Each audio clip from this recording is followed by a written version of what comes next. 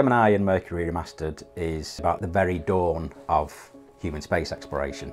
This is a 35mm film taken on board Gemini 4. So this is an example of, of how underexposed some of these images are. Making high resolution digital scans of that film means we can then apply digital processing to actually look what's in those shadows. So what I will do is start to look and start to do some simple kind of stretching of the contrast to start to look at is there anything actually of interest in this frame? And we can very quickly start to see that actually yes there is. So this is Ed White. So he's just performed the first US spacewalk so a very historic moment.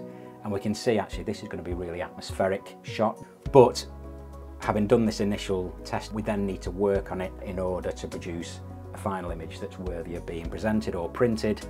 And so we end up with the final version. This is actually a panorama of, of two photographs to get this full shot. You see a star map above his head and actually this is an image that ended up on the front cover of the book.